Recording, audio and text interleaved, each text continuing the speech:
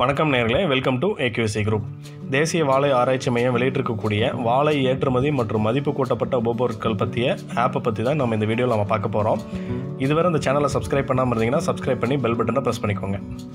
இந்த ஆப் கிடைக்கக்கூடிய play store லிங்கை இந்த வீடியோவோட டிஸ்கிரிப்ஷனில் கொடுத்துருக்கோம். அதில் நீங்கள் டவுன்லோட் பண்ணிக்கலாம்.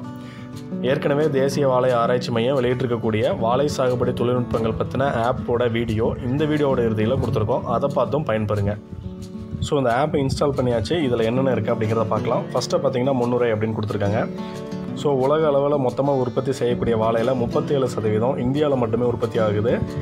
நாற்பது கோடி பேர் வாழையை வந்து தினசரி உணவில் சேர்த்திக்கிறாங்கன்னு சொல்கிறாங்க ஸோ இந்தியாவை பொறுத்த வரைக்கும் பார்த்தீங்கன்னா முந்நூற்றி எண்பத்தெட்டு கோடி மதிப்புள்ள ஒரு லட்சத்தி பதினோராயிரம் மெட்ரிக் டன் வாழை வந்து வெளிநாடுகளுக்கு ஏற்றுமதி செய்கிறாங்க இந்த எண்ணிக்கை அதிகமாச்சு அப்படின்னா வாழை விவசாயிகளுக்கு ஒரு கணிசமான தொகை கிடைக்கிறதுக்கு வாய்ப்பு இருக்குது ஸோ இந்த ஏற்றுமதிக்கான தொழில்நுட்பத்தை தான் இந்த செக்ஷனில் கொடுத்துருக்காங்க. இதில் பார்த்தீங்க அப்படின்னா ஃபஸ்ட்டு வாழைத்தார் பராமரிப்பு அப்படின்னு இருக்குது இந்த வாழைத்தாரை நம்ம எப்படி பராமரிக்கணும் அப்படிங்கிறத இந்த செக்ஷனில் டீட்டெயிலாக கொடுத்துருக்காங்க.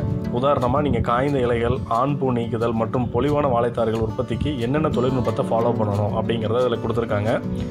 இலை ஒன்றோட ஒன்று உரசிச்சுன்னா வாழைக்காய்கள் வந்து சேதாரமாகும். அது இல்லாமல் இருக்கிறதுக்காக அந்த இலையை நீக்கிறது எப்படி அப்படிங்கிறத சொல்லியிருக்காங்க. பொதுவாக வாழை விவசாயிகள் சந்திக்கக்கூடிய இலைப்புள்ளி நோய் அது தாக்காமல் இருக்கிறதுக்காக அந்த இலைகளை நீக்கிறதையும் கவனமாக கையாளணும். அடுத்ததாக இந்த ஆண்பூவை நீக்கிட்டு ஒரு பர்சன்ட் பொட்டாசியம் சல்ஃபேட் கரைசலை வந்து தார் மேலே தெளித்தோம் அப்படின்னா நல்ல ஒரு தரமான பொலிவான வாழைத்தார்கள் இருக்கும் அப்படின்னு சொல்கிறாங்க ஸோ இயற்கை விவசாயம் செய்கிறவங்க இதுக்கான மாற்று வழியை பயன்படுத்திக்கலாம். அடுத்ததாக பார்த்தீங்கன்னா இந்த வாழைத்தார்களுக்கு வந்து உரையிடுதல். பாலித்தீன் கவர் போட்டு மூடுறதுனால நமக்கு இந்த சாறு உறிஞ்சக்கூடிய பூச்சிகள் மூலமாக வரக்கூடிய சேதாரத்தை வந்து தடுக்கலாம். இதனால் காய்கள் நல்ல பொலிவாக இருக்கும். சந்தையிலையும் நல்ல விலைக்கு போகிறதுக்கு வாய்ப்பு அதிகமாக இருக்குது ஸோ இந்த டீட்டெயில்ஸ் எல்லாமே இந்த வாழைத்தார் பராமரிப்புங்கிற செக்ஷனில் கொடுத்துருக்காங்க. அடுத்ததாக தார் எப்படி அறுவடை செய்யலாம் அப்படிங்கிறத கொடுத்துருக்காங்க. பொதுவாகவே பூ வந்ததுலேருந்து அறுவடை செய்கிறதுக்கு எண்பத்தைந்துலேருந்து நூற்றி முப்பத்தைந்து நாள் ஆகும். இது ரகத்துக்கு தகுந்த மாதிரி மாறுபடும். காயை தட்டி பார்க்கும்போது நமக்கு வெங்கல சத்தம் கேட்கும். வாழைக்காயை நுனியில் இருக்கும் சருகுகள் வந்து காய்ந்து கீழே விழுவும். இதெல்லாம் வச்சு நம்ம அறுவடைக்க தயாராக இருக்குது அப்படிங்கிறத கண்டுபிடிச்சிக்கலாம்.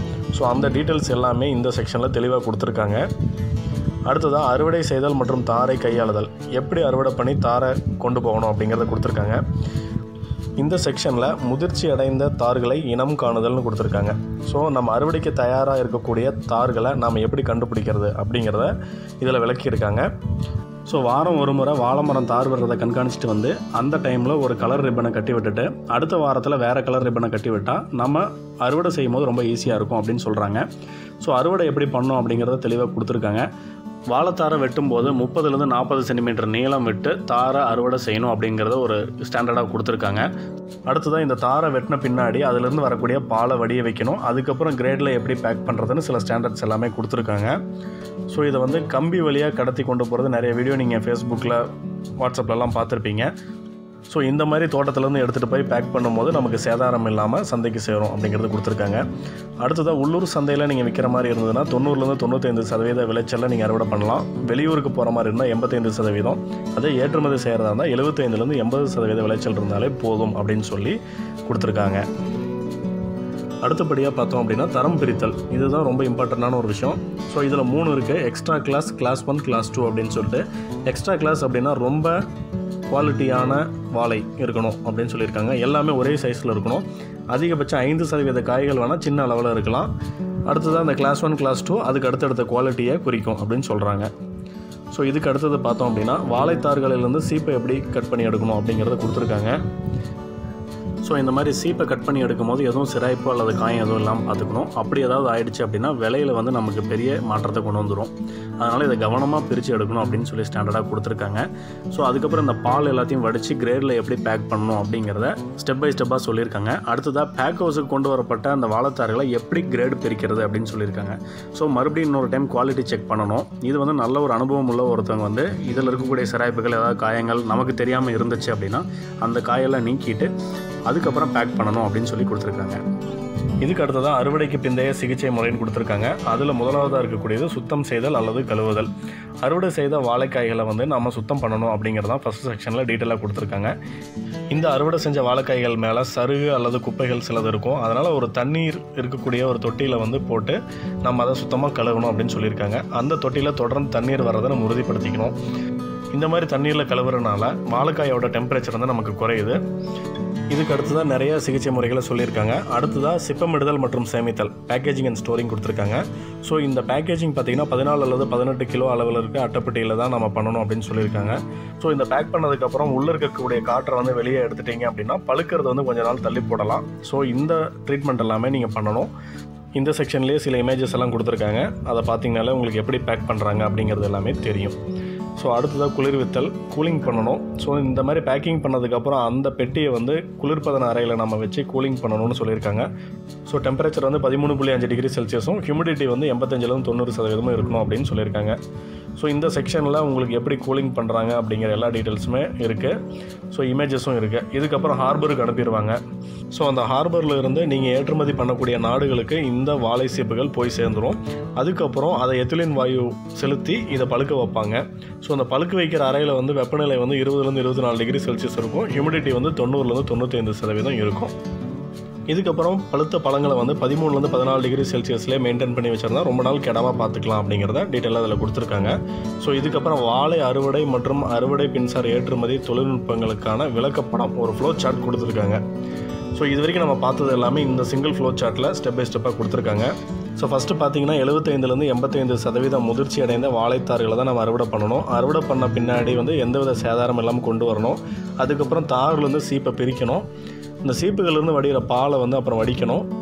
அதுக்கப்புறம் பிளாஸ்டிக் கிரேடில் இதை அடுக்கிட்டு பேக்கேஜிங் பண்ணக்கூடிய இடத்துக்கு கொண்டு போகணும். அதுக்கப்புறம் தண்ணீரில் கழுவணும். அதுக்கப்புறம் அதுக்கான கெமிக்கல் ட்ரீட்மெண்ட்ஸ் எல்லாம் பண்ணிவிட்டு அதுக்கப்புறம் மறுபடியும் உலர்த்தி மீண்டும் பேக்கிங் பண்ணணும். இந்த பேக்கிங் பண்ணதுக்கப்புறம் கூலிங் பண்ணி அதை வந்து நாம் பெட்டியில் அடைச்சி கண்டெய்னரில் பெட்டிகளை ஏற்றிக்கிறோம் அதுக்கப்புறம் கப்பல் போக்குவரத்தில் இந்த கண்டெய்னரை வந்து நம்ம ஒரே வெப்பநிலையில் சீராக கொண்டு போய் ஏற்றுமதி செய்யக்கூடிய நாட்டோட துறைமுகத்தில் சேர்த்திடுறோம். அதுக்கப்புறம் எத்திலின் வாயுவை செலுத்தி பழுக்க வச்சு மீண்டும் இந்த பழங்களை விற்பனை நிலையங்களுக்கு அனுப்பி வச்சிடுறாங்க.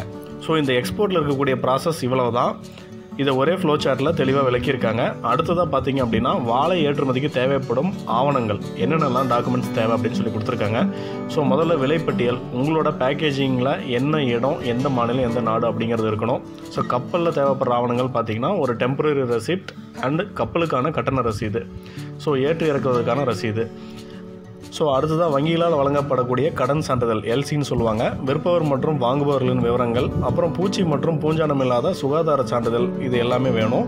ஸோ இதுக்கப்புறம் ரிசர்வ் பேங்க் கொடுக்கக்கூடிய பூசு படிவம் அதுவும் நமக்கு வேணும். ஸோ எக்ஸ்போர்ட் பண்ணுறதுக்கு இந்த செக்லிஸ்ட்டில் கொடுத்துருக்கூடிய எல்லா டாக்குமெண்ட்ஸும் அவசியம் தேவை. அடுத்த செக்ஷனில் உள்நாட்டு வியாபாரத்துக்கான வாழைக்காய்களை எப்படி நம்ம தேர்வு செஞ்சு அறுவடை செய்யலாம் அப்படிங்கிறத சிம்பிளாக கொடுத்துருக்காங்க. ஸோ இருபது கிலோங்கிற அளவில் பிளாஸ்டிக் ரேட்டில் அடுக்கிட்டு அதை குளிர்பாதன அறையில் வச்சிட்டோம் அப்படின்னா நம்ம அதை தேவைப்படும் போது விற்பனை செஞ்சுக்கலாம் அப்படிங்கிறத கொடுத்துருக்காங்க. ஸோ டோட்டலாக எக்ஸ்போர்ட்டுக்கு என்னென்ன தேவை அப்படிங்கிறத இந்த செக்ஷனில் டீட்டெயிலாகவே கொடுத்துட்டாங்க. ஸோ இப்போ வெளியில் நம்ம மறுபடியும் ஹோம் பேஜுக்கு வந்தாச்சு. ஸோ இதில் பார்த்தீங்கன்னா மதிப்பு கூட்டுதல்னு சொல்லி அடுத்த செக்ஷன் இருக்குது ஸோ ஸோ விவசாயிகள் வெறும் வாழைக்காய்களை மட்டும் விற்காமல் அதிலிருந்து மதிப்பு கூட்டி விற்றாங்க அப்படின்னா நல்ல லாபம் பெறலாம்.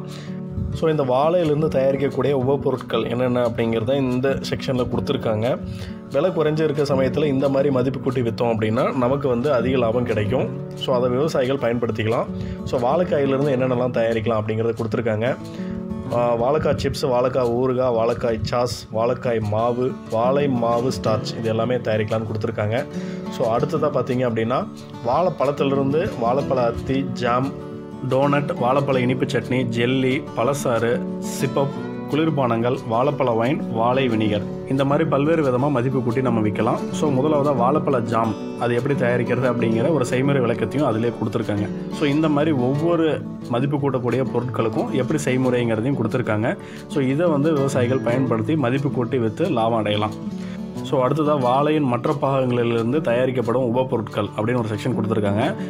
ஸோ அந்த செக்ஷனில் மதிப்பூட்டப்பட்ட உபபொருட்கள் அப்படின்னு கொடுத்துருக்காங்க. அடுத்ததாக வாழைப்பூ தொக்கு வாழைத்தண்டு வாழைக்கிழங்கு. ஸோ இந்த செக்ஷனில் கொடுத்துருக்கக்கூடிய சப் செக்ஷனை நம்ம கிளிக் பண்ணோம் அப்படின்னா அதோட டீட்டெயில்ஸ் எல்லாமே நம்ம ஒன் பை ஒன்னாக வரும் ஸோ அடுத்ததாக வாழை நார் பற்றி பார்க்கலாம். ஸோ இந்த வாழை நார் வந்து நமக்கு டெக்ஸ்டைல்ஸ் மற்றும் கைவினைப் பொருட்களை யூஸ் பண்ணுறதா போட்டிருக்காங்க. ஸோ கப்பல் கட்டும் தொழிலையும் வாழைநார் யூஸ் பண்ணுறாங்க ஸோ டெக்ஸ்டைல்ஸில் பார்த்தீங்க அப்படின்னா ஜப்பானின் பாரம்பரிய உடை வாழைநாரில் தான் தயாரிக்கிறாங்க. அதே போல் ஜப்பானின் கரன்சியான எண் தயாரிக்கிறதும் இந்த வாழைநாரில் தான் தயாரிக்கிறாங்க. ஸோ இந்த வாழைநார் என்னென்ன பயன் இருக்குது அப்படிங்கிறத இந்த செக்ஷனில் டீட்டெயிலாக கொடுத்துருக்காங்க. ஸோ அடுத்த செக்ஷனில் வாழை இலையின் உற்பத்தி தொழில்நுட்பங்களில் கொடுத்துருக்காங்க. ஸோ இந்த வாழை இலையை பொறுத்த வரைக்கும் பார்த்திங்கன்னா தென்னிந்தியாவில் வாழை இலையில தான் அதிகமாக சாப்பிட்றோம். ஸோ இந்த வாழை இலை வந்து திருவிழாக்கள் மற்றும் விசேஷங்கள் எல்லாத்துக்குமே வாழை இலையில தான் உணவு பரிமாறுறாங்க. ஸோ இது வந்து இரநூத்தம்பது கோடி வரைக்கும் வர்த்தகம் இருக்கக்கூடிய ஒரு தொழில். ஸோ அந்த இலை வந்து விவசாயிகளுக்கு வருமானம் தரக்கூடியதாகவே இருந்துட்டு வருது. ஸோ இந்த இலை கூட எக்ஸ்போர்ட் பண்ணுறதுக்கான ஆப்ஷன்ஸ் இருக்குது ஸோ அந்த டீட்டெயில்ஸும் இந்த செக்ஷனில் கொடுத்துருக்காங்க. ஸோ அடுத்ததாக பார்த்தீங்கன்னா பரிமாற்றத்திற்கான தொழில்நுட்பங்கள்னு சொல்லி கொடுத்துருக்காங்க. ஸோ அதை கிளிக் பண்ணிங்க அப்படின்னா உங்களுக்கான இந்த எக்ஸ்போர்ட்டுக்கான பயிற்சி எல்லாமே திருச்சி தேசிய வாழை ஆராய்ச்சி மையத்தில் கொடுக்குறாங்க. ஸோ இந்த பயிற்சி பற்றின டீட்டெயில்ஸ் இப்போ நம்ம பார்க்கலாம். திருச்சியில் இருக்கக்கூடிய தேசிய வாழை ஆராய்ச்சி மையத்தில் ரெண்டு வகையான முறையில் நமக்கு பயிற்சி கொடுக்குறாங்க.